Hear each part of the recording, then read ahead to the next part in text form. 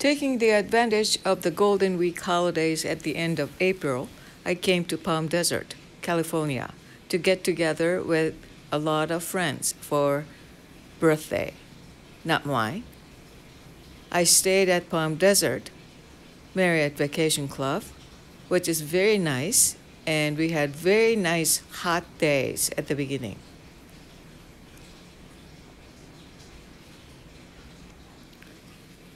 The morning sunrise and pink clouds were so pretty that I couldn't get over.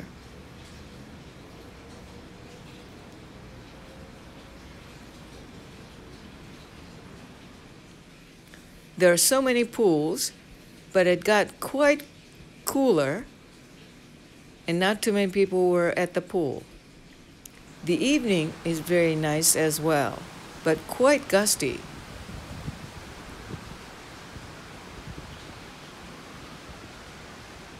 There are many bright color flowers here and there, which I enjoy very much. I worked in the room because I'm working on the technical skills, but at the same time, I brought my PC out on the terrace and worked there many times.